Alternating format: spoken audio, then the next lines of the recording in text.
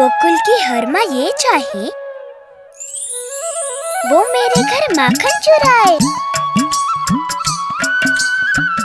जय श्री कृष्ण। सोमवार से शुक्रवार रात आठ से नौ बजे।